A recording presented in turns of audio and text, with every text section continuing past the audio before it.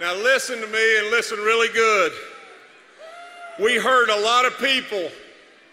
We hurt our vets and our teachers and our disabled and our weak, and we walked away from the old. Now, I can promise you just this. I came, I came to only get something done.